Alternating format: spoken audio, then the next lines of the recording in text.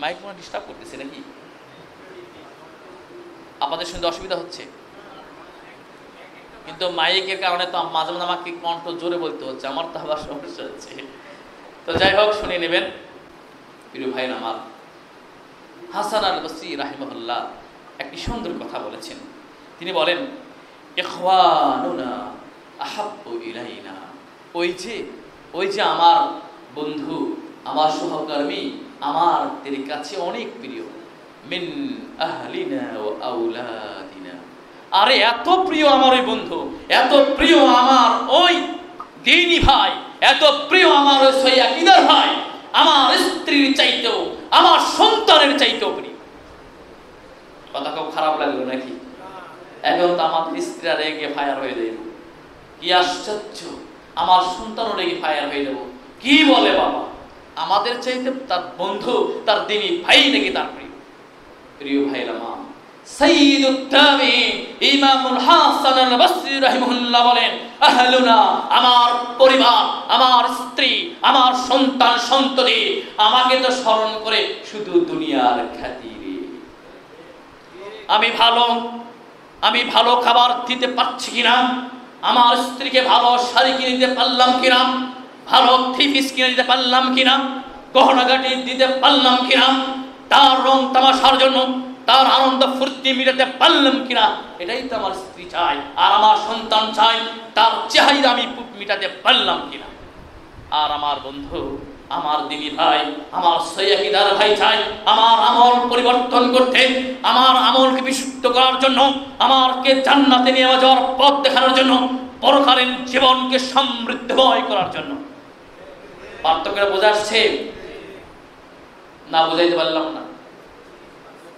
আবার এমন সিদ্ধান্ত নেন না যে, আর খাবার কিনে নিয়ে যাবেন না। নিয়ত করেছেন আঙ্গুর ফল কিনতে, আর স্ত্রীর জন্য আঙ্গুর ফল কিনবেন না। এমন নিয়ত করেন না। এই ঈদে ভালো কিছু দিন উপহার, এই নিয়ত আপনি পরিবর্তন করেন না। সব ঠিক আছে। এখানে ব্যাটিকটা হলো এটাই যে, আমি, আপনি ওই যে দিনী ভাইকে আমি আপনি প্রত্যাখ্যান করলাম, আর আমার স্ত্রী, আমার সন্তান, সন্ততি, দুনিয়ার চাকচিককে যা যাচ্ছে তাতে আমি মশগুল হয়ে গেলাম। কোন ওলামার সভাতে গেলাম না, কোন দিনদার, পরিষ্কার ব্যক্তিকে বন্ধু হিসেবে গ্রহণ করলাম না, কোন ওলামায় রব্বানিকে আমরা গ্রহণ করলাম না। বরং আমি, আপনি, আমার স্ত্রী, আমার সন্তানদের দুনিয়াবি নিয়ে আমি ব্যস্ত থাকলাম। এটাই নিষিদ্ধ করা হয়েছে। আশ্চর্য ব্যাপার। মসজিদের ইমাম কত সুন্দর তেলাবাদ করে, কত মধুর লাগে। দিনের পর দিন, মাসের পর মাস, পাশেই আমার বাসা, সন্তান সন্ততি, আর স্ত্রী কত মধুময়, সুন্দর সুখাদু খাবার খায় একটা দিন ইমাম সাহেবকে দাওয়াত করলাম না। এটা কি? ইমাম সাহেবের সাথে সহবত ভালো হইল? নাকি বুঝাইতে পারলাম না? ইমাম হাসান আল বসরি বলছেন, না, এটা করা যাবে না। আপনি প্রতিদিন খাওয়ান না, একদিন খাওয়ান। আপনি মিষ্টি মুখে একটা হাসি দেন। একটি খাতিরে দেন তার কোরআন তেলাওয়াত সুন্দর। একটি খাতিরে দেন সে তো আমাকে সালাত পড়াইয়া দেয়। একটি খাতিরে দেন তাকে তো আমি যখন কোনো দিনের কথা বলি, সে তো স্বাচ্ছন্দ্য গ্রহণ করে। প্রিয় আমার, দেখুন, ওলামে সালাফরা কত ভালোবাসত একজন আরেকজনকে। ইমাম শাফি রাহিমহুল্লাহ, মৃত্যু দুশো চার হিজড়ি। এবং তার ছাত্র আরেকজন বিখ্যাত ইমাম ইমাম আহমদ বিন হাম্বল। নাম শুনেছেন কি না শোনেন নাই? মৃত্যু দুইশো একচল্লিশ হিজড়ি। ইমাম শাফি রাহিমুল্লাহর ছাত্র। কিন্তু ছাত্র শিক্ষকের মাঝে শত শত মাসলার কি রয়েছে?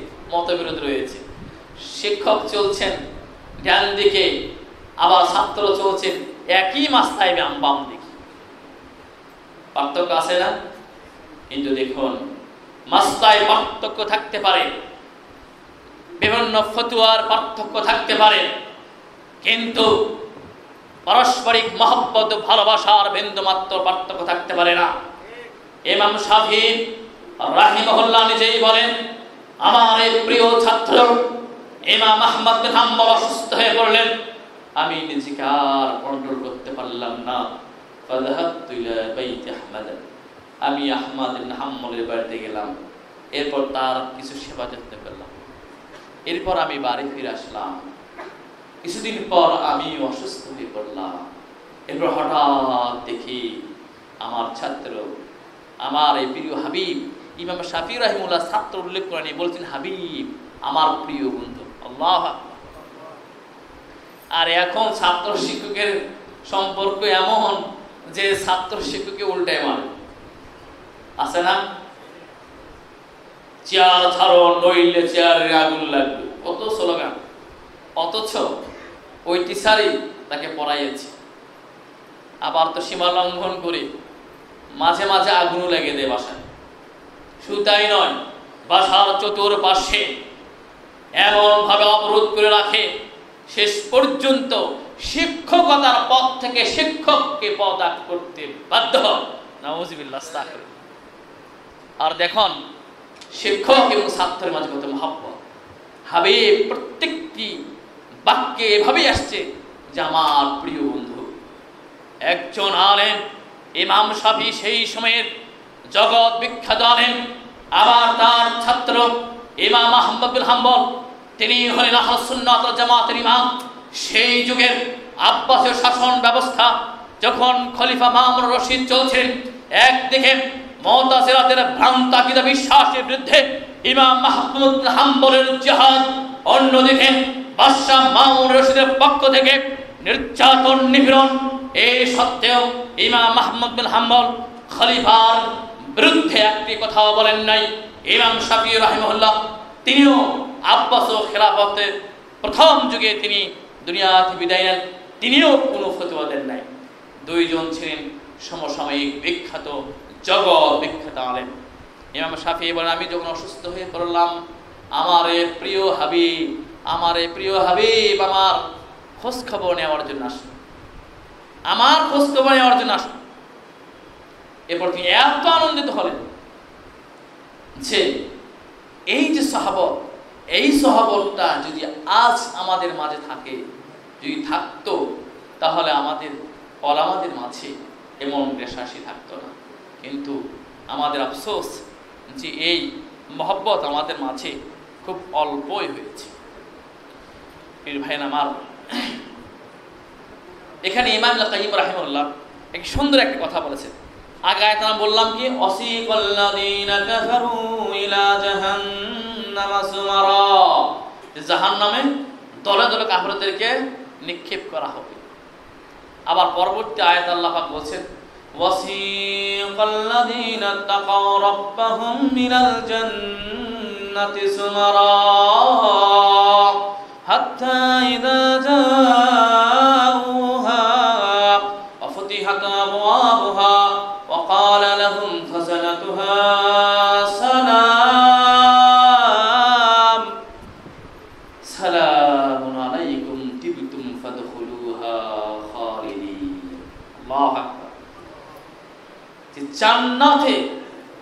দলে দলে আল্লাহকে যারা ভয় করেছে, তাদেরকে দলে দলে জান্নাত প্রবেশ করা হবে। ইমাম কাইম বলেন, এখানে দলে দলে বলতে একজন মুমিন ব্যক্তি, সে একাই জান্নাতে যেতে চাইবে না।